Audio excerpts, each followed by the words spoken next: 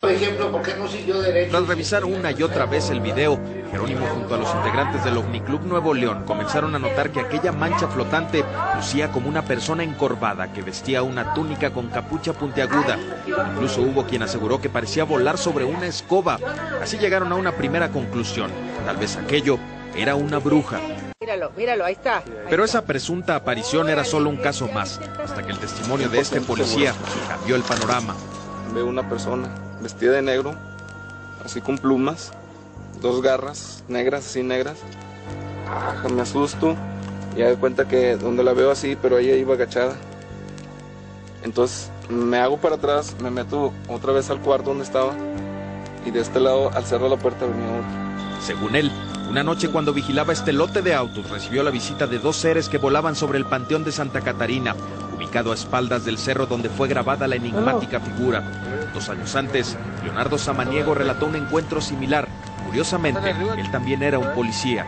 Estaba vestido de negro y tenía unos ojos grandes y tez morena. Pero ya no alcancé a ver más. Estaba vestido de negro, traía un gorro con una punta hacia atrás. Pero no tenía nada de escoba, nada. Pero iba volando sola. El oficial Samaniego, quien trabaja en un municipio distinto al de su colega, contó mientras era auxiliado por paramédicos que una bruja lo había atacado, dejándolo inconsciente. Los noticieros locales comenzaron a dar cuenta de otros inquietantes sucesos. La supuesta bruja de poco más de metro y medio de altura. Surgió entonces la duda de si aquellos casos tenían relación con la imagen grabada recientemente por Jerónimo y sus compañeros del OVNI Club.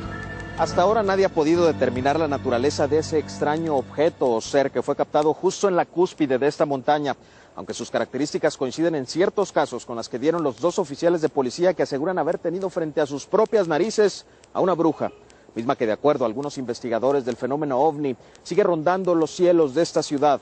Aunque tras analizar mejor los movimientos de la curiosa imagen llegaron a una nueva y sofisticada teoría de manera personal yo me inclino a pensar que se trata de una entidad extraterrestre y esta entidad extraterrestre va montada prácticamente sobre un aparato individual para volar. Con esta nueva hipótesis acudimos a buscar la opinión de una conocida astrónoma y su respuesta fue contundente. No hay evidencia, lástima. Concluyó que cuando no se puede probar la naturaleza de un objeto, la gente suele ponerle rostro y nombre según sus experiencias previas, lo que podría haber ocurrido en este caso.